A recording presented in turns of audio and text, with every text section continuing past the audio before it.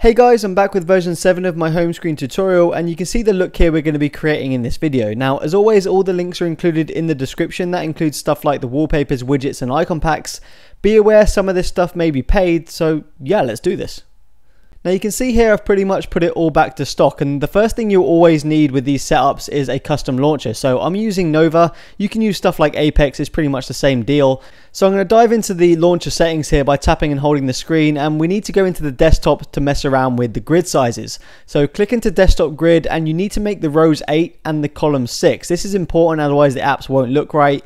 Width margin is set to none height margin is set to none, and the persistent search bar is set to never. That's pretty much all you need to do, but I've also turned the icon labels off because I think it makes a cleaner look on the home screen, so that's your choice right there. Now there are some settings you need to change in the drawer, but we'll leave that for now because the dock is more important. And on this home screen, I don't actually have a dock. So click into the dock and disable it completely.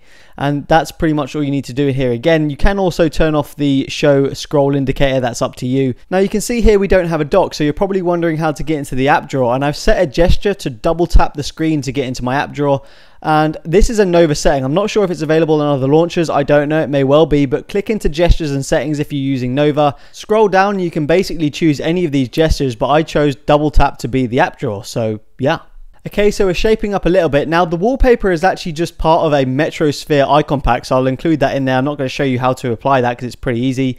And the icons, you can see you just arrange them in the areas where there's space in the wallpaper. So moving on to the transparent navbar, and you can see right now it's black. Now I'm using a custom ROM called Paranoid Android to do this. You can just swipe down, click the hybrid settings. You can see it says Nova Launcher. Scroll over to the right and you can see navbar color. Now you can just pull this over to be a little bit more transparent like there, around about here, and you can just press it press apply and then there you go you'll see the nav bar is transparent now i'm not sure if you're using a different rom it may be a different procedure but this is how you do it on paranoid android now this is where you need to dive into the drawer because you need to make the drawer a little bit transparent otherwise it just looks stupid with a transparent nav bar so you can see i've set it to about there and if we go back and dive into the app drawer you can see it looks fine. It doesn't look out of place. It flows properly, and that's how it's meant to be. So make sure you make your drawer a little bit transparent. Otherwise, it will just look stupid with a transparent navbar.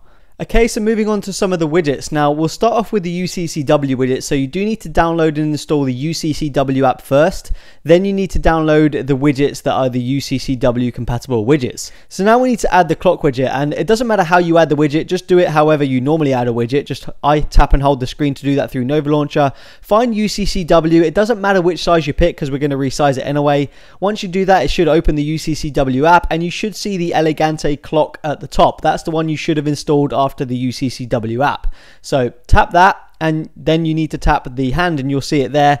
Just resize it. And this is where you just need to resize it so it fits the wallpaper. So you can see I'm just resizing it so it's not on the wallpaper and looks about right. And yeah, that's pretty much it. That's all you need to do with that. So let's move on to the weather widget. So the weather widget is again another UCCW widget. So just tap and hold the screen where you want it to be. Tap the UCCW again. The size doesn't matter because we're going to resize it. And then once it opens, you need to find the MNML weather app. And again, you would have downloaded that. Just tap resize and it should fit around the right area if you've already set the grid size. As you can see, it's as simple as that. So you can see it's looking pretty good. Now we've got to add one more widget and it's called the Zooper widget. So go ahead and download that. Again, the links are in the description.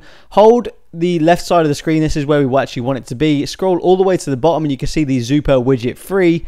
Again, size doesn't matter, just pick whichever size because you need to resize it to actually fit in this little gap here. So you want it to look like that. Once you've done that, just tap the actual widget itself. Again, it's going to open up the actual Zooper app. So once it's opened up, just keep scrolling down until you find the up calendar widget. You'll see it somewhere around here and there it is so just click that and we'll move on to customizing it so you can see the little preview at the top and you can see it doesn't look anywhere near right so the first thing you'll need to do is click into layout click the text icon and you need to change the X offset just keep tapping left until you get it to kind of fit all the way to the left of the little box and then use the Y offset to kind of move it up and down. Again, that's sort of your preference. I like it a little bit off the uh, off the floor of the widget. So press back and then you need to click series.